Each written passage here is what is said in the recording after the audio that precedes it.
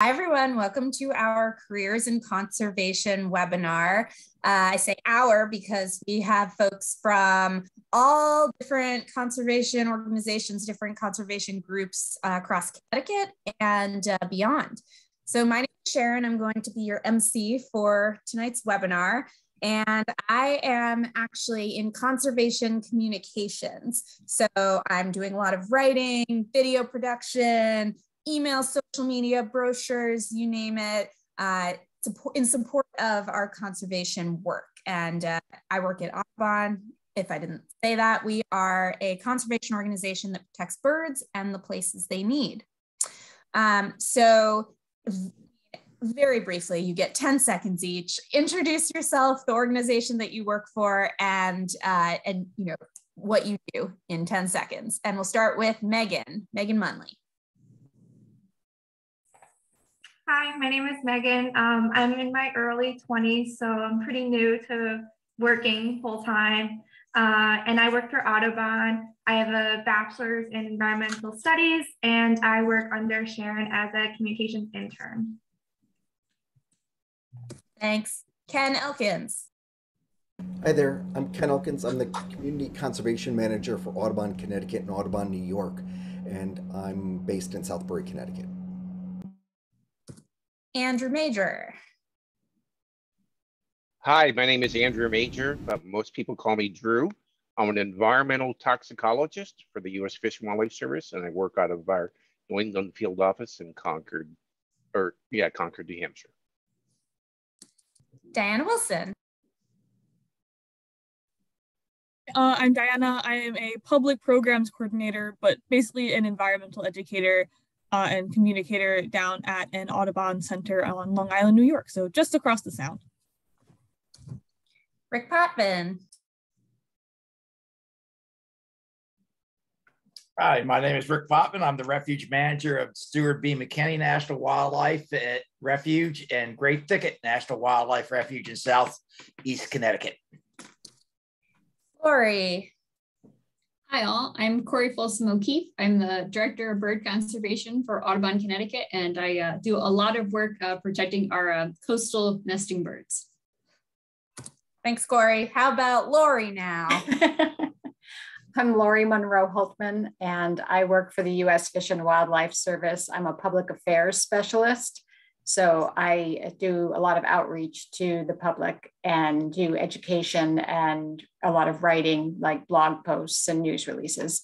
I work in Western Massachusetts in our Northeast region office. Shelby Casas. Hi, I'm Shelby Casas. I uh, work for Audubon, Connecticut, New York. I'm based out of Oyster Bay and I'm the Coastal Program Associate here. Uh, but prior to this, I worked with Corey uh, on the other side of the sound in Connecticut. Allison. Hi, everyone. I'm Allison uh, Lucas. I oversee the science department at Stratford High School. Thanks, Allison. Jim. Hi, I'm Jim Turek. I uh, I work for NOAA, uh, which is a federal agency. Uh, I work for the Restoration Center. I'm a restoration ecologist, and I work out of Narragansett, Rhode Island. And Robert LaFrance, for a quick introduction, your name and and where you work, and just very briefly what you work on. Uh, Robert LaFrance, I'm the policy director for Audubon, Connecticut, which means I do a lot of the policy and political work for uh, Audubon. So how we're going to do this, because there are so many of us, because there are so many different types of careers in conservation, is we're going to have just a couple of folks answering each question that I ask. So as a reminder, you're just going to use the raise hand emoji if you have an absolutely excellent answer to the question that I pose. Um, so the first question is, of course, we're going to take, we're going to go back in time and we'd love to hear how you found your way to the position in conservation that you are in today. So if you could just share a little about your professional journey. And we'll see who the brave soul is to raise their hand to go first.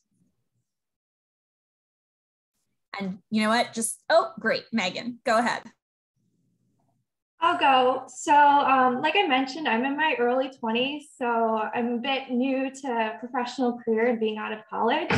Um, so, I actually started college in engineering. So, my biggest takeaway, if anything, is you can absolutely love something and you might go to college for one thing and you might even graduate with a degree, but that doesn't mean that you're going to be doing it for the rest of your life. Um, so I just knew I love science and I took as many electives in college as I could um, of like biological courses and different science courses. And I did a lot with that and kind of talking to my professors. And then when I graduated, I went on to kind of teaching. I did some stuff in finance. And then I found my way to Audubon and I absolutely love it. So it's been a couple years since I've been out of college.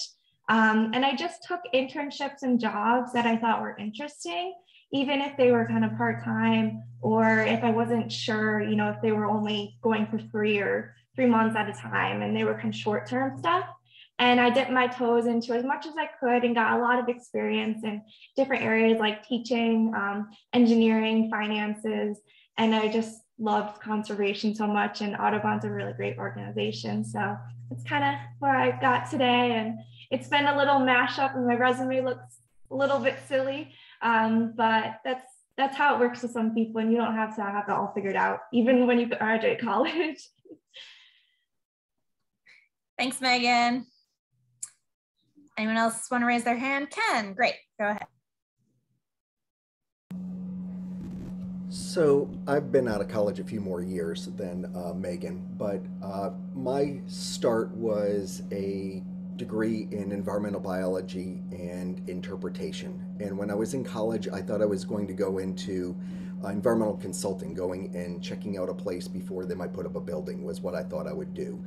But my junior year, one of the residents, when I was a resident assistant, uh, she asked, Have you taken my dad's classes yet? That he was teaching a course in environmental interpretation. And that's basically the course to be a park ranger and a teach at national parks and things. And when I got there, I was the only one who actually knew how to identify any of the trees or birds in the class. So it was just something that I found I had a talent for. And after taking every course that that professor had, we were out doing a field session. And uh, he actually came up to me after one of our times and said, Do us all a favor and go into bird interpretation. So right then I could picture that I should go work for Audubon. I did start at a small nature center in West Hartford, Connecticut. Uh, it was very low pay. I lived in apartment over a barn, but it was great experience getting to teach with lots of different age groups, um, from little toddlers, which I did not ever think I would be running around with them, uh, but also taking out adults on bird walks. So now I have a career that I did spend another eight years working at other nature centers in Korea in like Diana being an environmental educator every day. And now I get to organize programs that we connect different community groups with how they can be a part of bird conservation, whether it's a garden club or a school um, that wants to have their own special area and make small spaces more bird friendly, is what I do today. So. Thank you, Ken. Lori, go ahead.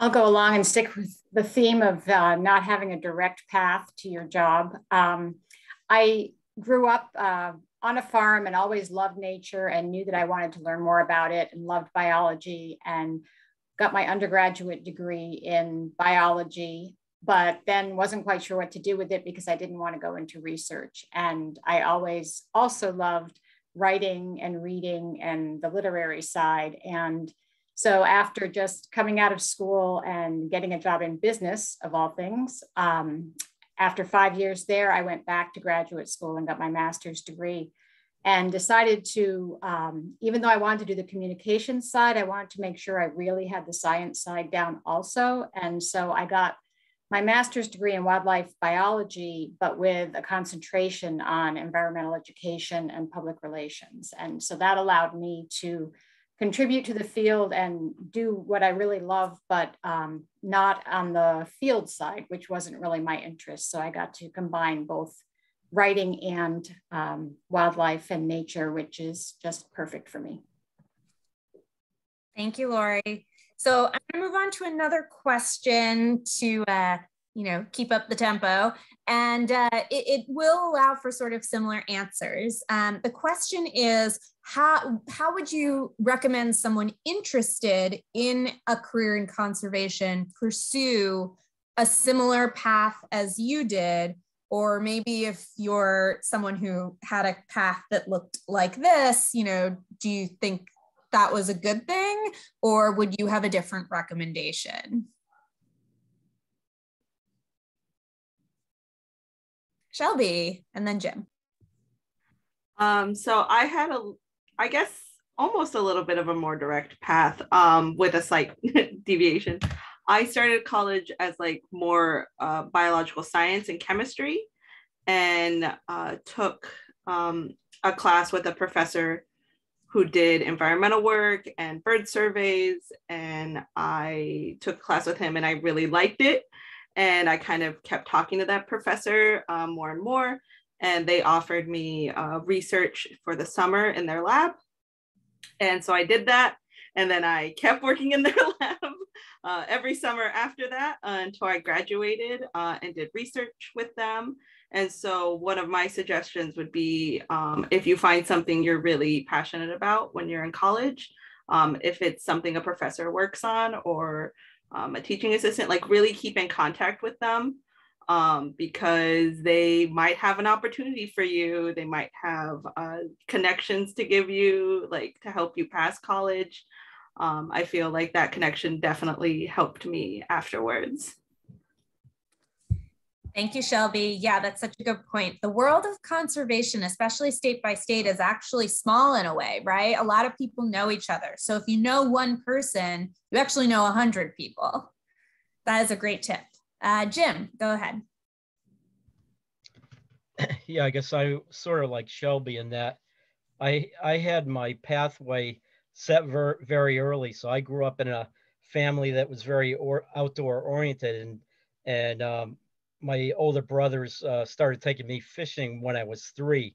And so I've had a passion my entire life about fish. And, uh, and so I went to, uh, well, I had a, I had high school uh, teachers in biology that, you know, helped me out. And um, it, it, it, was sort of a mentoring, but um, not, not a great mentoring, I would say. When I got into college, I went to the University of Maine at Orono for my undergraduate degree, and I was in zoology.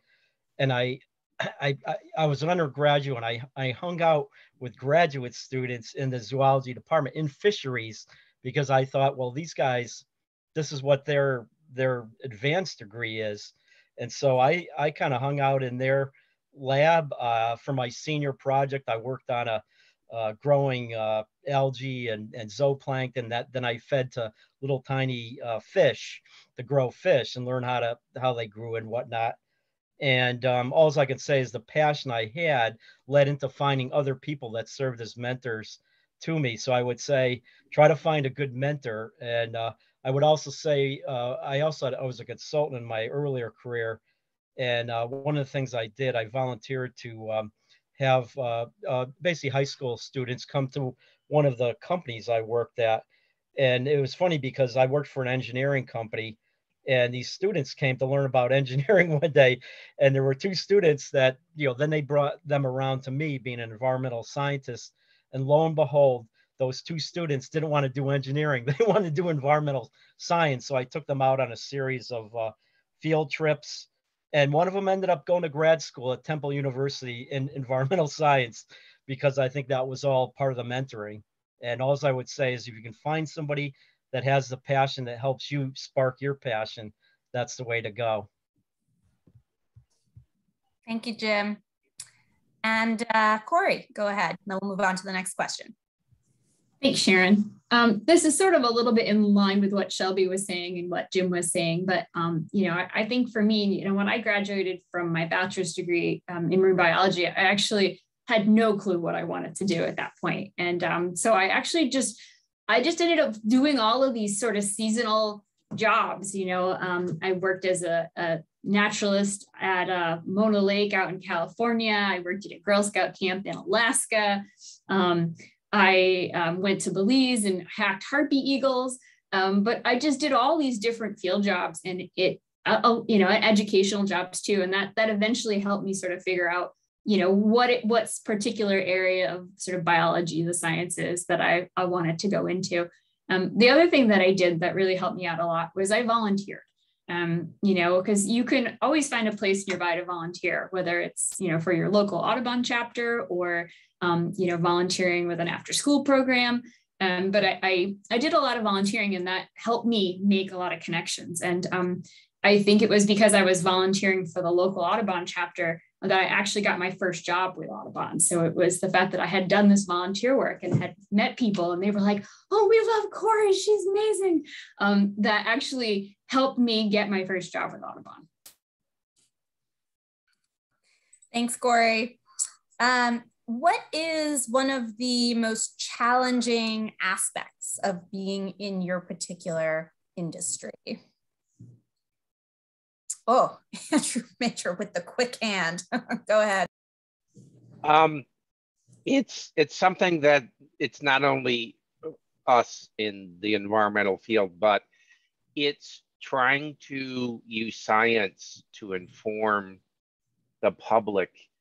And then because it doesn't conform to what the beliefs that they have about the world, having them reject.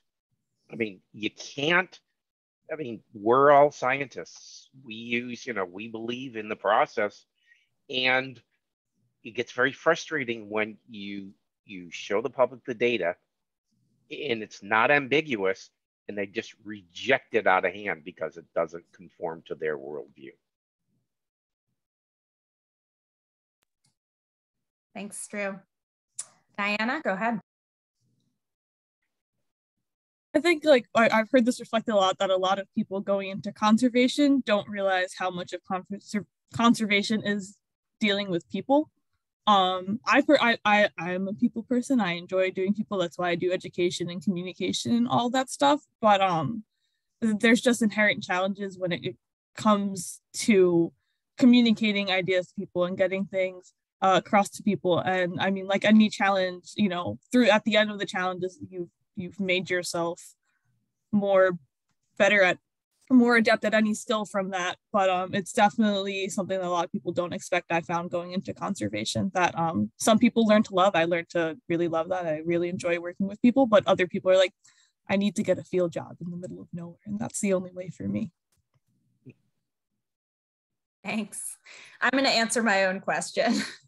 Um so I know that this is not just the case in communications, but I think, you know, it's just especially working for organizations that rely on fundraising, rely on grants to function. We are oftentimes teams of one or two, rarely more. And so, no matter what field you're in, whether you're doing communications, whether you're doing, you know, if you're working in policy, advocacy, conservation on the beach conservation in the forest. It's it's you have to be a jack of all trades master of none.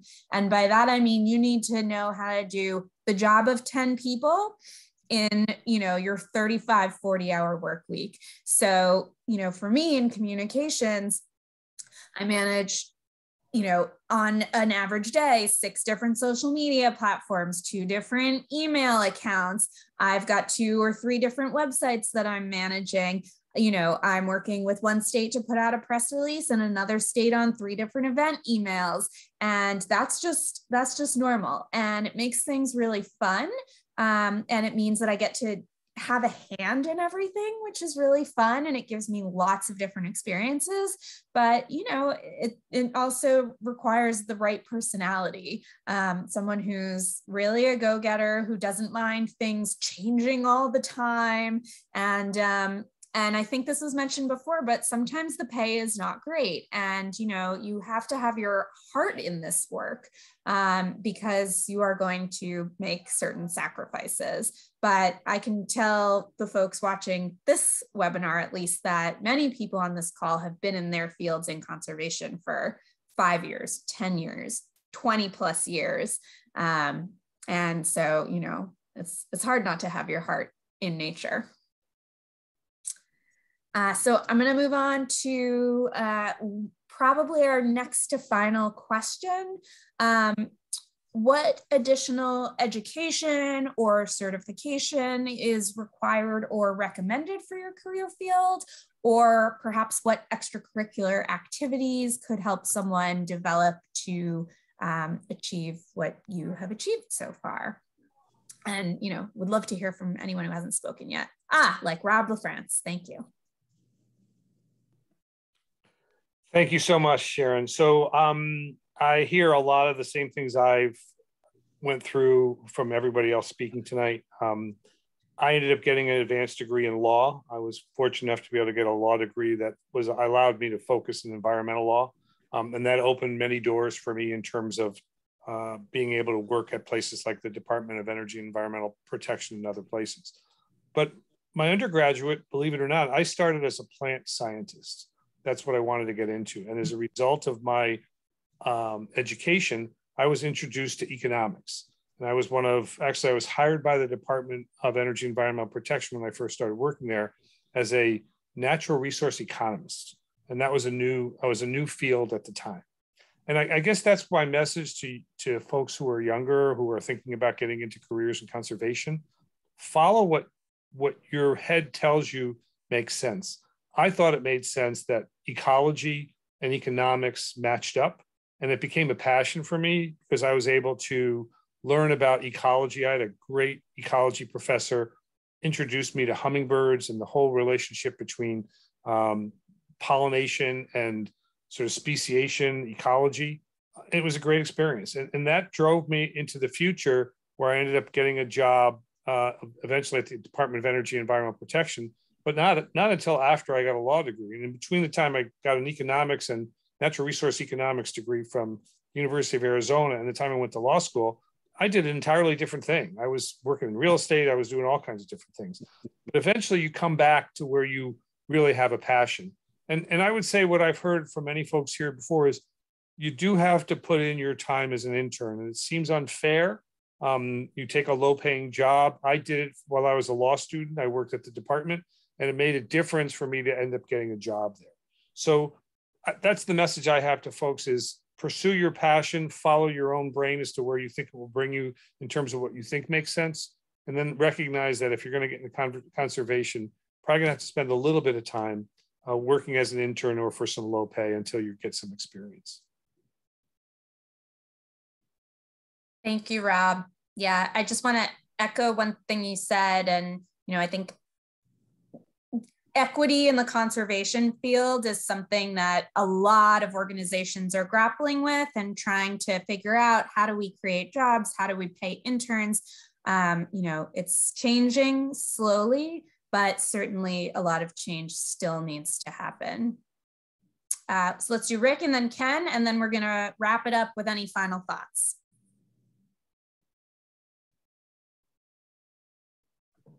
So, you know, I was uh, listening to people who have uh, higher degrees, and when you think about uh, um, conservation, there's all sorts of jobs in conservation. In the Department of Interior that uh, I work with, there's very possible to get jobs in conservation, and all you have to have is a high school diploma.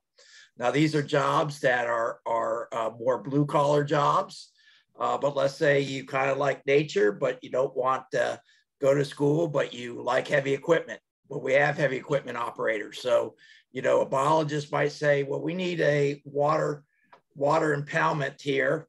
And so they talk to an engineer who's maybe a fish and wildlife engineer. He he draws up the plans, then he sends them down to the people that move the dirt. And you can move that dirt. Uh, in the Park Service, there are many positions for wildland firefighters that don't require any advanced degrees. Uh, you can get into it without uh, going to college. So there's a lot of different uh, functions. If that's not your thing, I don't want to go to school, but I want to do uh, things. We hire boat operators. We hire uh, uh, aircraft pilots.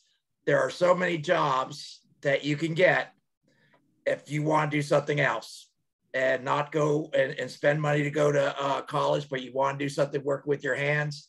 I've worked in a lot of positions where they're hiring some of the Park Service places I've worked, you know, you could be a boiler plant operator, uh, but you are working in conservation because those jobs are supporting the on the ground work.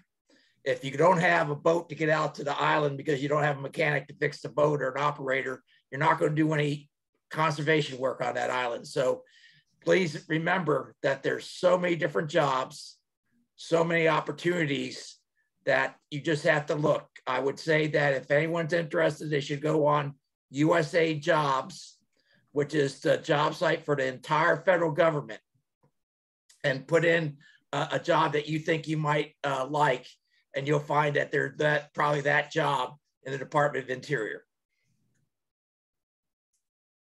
Thank you, Rick. That is such an important topic to talk about. Ken, go ahead. I was going to say something similar that follow your passions first. That if uh, you're interested in something now, go for it. That I went on my first club walk with an Audubon Society when I was 16. And I was in a club of five that had in, that wanted to study more about the environment in high school. So it was not something that was popular to do, but it connected for me and it worked. Um, but also, you see that there might be a position lists an advanced degree, but most of them say the advanced degree is preferred. And years of experience does matter. But also, I've trained a lot of people who have changed careers and made a shift to want to work in the environment as well, whether it's a court reporter or a bookstore manager. And uh, our previous land manager worked on airplanes and was a mechanic on an aircraft carrier in the Navy prior to working with Audubon. So you can have your career move in different directions, and it might be the craziest thing of what happened when you were a teen that reminds you to go back to it later. So um, just enjoy it now, and it's the a lot of career people I've worked with too. They all um, they have a connection with something that happened in their family that makes them want to do what they do for work. Thank you, Ken. Um, any final thoughts? Rick, I don't know if your hand is up from before or not, but I'm gonna go to I'm gonna go to Megan first, and then Diana, and then if it was up, I'll circle back. Um, so this is like um, personal to what I've noticed, um, and I think that it's really cool to do. So I've kept in touch with my friends thanks to like social media and like LinkedIn, Instagram, and it's so cool to see like where they are. Um, so I have a friend who's a wildland firefighter out in Colorado. I have a friend who's getting her PhD um, in biology down in Florida. And I have another one who's working out on um, wildlife preserve off the coast of like Oregon and doing all the stuff out there. And it's cool to like check in with them once in a while and be like, oh, hey, like what are you doing? Maybe that's something that I'll eventually want to do one day. Or to send them like job info, and they send me job info. So like keeping touch and kind of growing your um, like little community of like friends and of like people who love like the environment and ecology and conservation. And like through that, you kind of just exchange job notifications and you get other um, inspiration for what you might want to do. Um, so I found like keeping in touch, and it doesn't have to be that often. Like couple times a year, you know, to check in with them. Um, and I found social media and, you know, technology makes it really easy these days to do that. Thanks, Megan. We'll go to Diana and then Drew, and then we're going to wrap up for the evening. Yeah, I definitely concur with what uh, Megan was saying. Uh, within uh, my friend group, I went to an environmental college. I went to uh, SUNY ESF up in Syracuse. So a lot of my friends got their degrees in the environmental field and are pursuing environmental stuff. And they are. If you go into this field, I will say any friends you make, they will just end up all over the country, um, which is really fun, especially when you get to visit them. Then it's extra fun. But um, I would say like one of the most important things that you can do and that you should do, and that feels really scary to do, uh, especially when you're in high school or in your early years of college, which I am not so far away from, uh, is reaching out to people. Like you can just see from all the people here, we want to hear from you. We think it's awesome when people in high school or in the early years of college, even people pursuing, like I said, completely different degrees are interested in this field. Like we want to bring more people into this field. There are every day there's more sorts of jobs that people are more combinations of things, all sorts of stuff in this field, like more than you could even just imagine, especially when you're at a young age. So just reach out to people, send an email. Like no one's gonna be like, never email me again and I don't like you and you smell bad. Like they're gonna be like, oh, awesome. Like I'm so glad that you like this. Like if you're interested in this, like, you know, this organization I work with is doing like a bird walk like by you on Tuesday. Like you should like stop by. So just reach out to people, say hello, say, I like what you're doing. Can you tell me more about it? And we will make time for you. Absolutely. And to that end, I just want to say that um, I will put email addresses in the notes of the YouTube video. So any of the folks on this panel can be contacted by anyone who watches the video. And Drew, you want to wrap us up? Yeah. Um, it, you have to understand that to be in this profession actually is it's more than money. It's the experiences that you have in your life. Um, I've had some amazing, all of the panel can tell you about great stories. I researched Canada lynx up in the Yukon Territory and I watched the Northern Lights go horizon to horizon. You could almost read by them. But I'll tell you a story that we had locally here when I was with the Fish and Wildlife Service. We were doing um, we were doing research on common on common loons, and we were up in Rangeley Lakes in Maine. It was three o'clock in the morning. We were all exhausted. Okay. The Perseid meteor showers started across the sky. We just got done processing a loon. So the Perseid meteor showers came across the sky. The coyotes started to howl. The owls piped in, and then the loon that we just processed came along and just yodeled at us. And I'm going, I can't believe that they pay me to do this.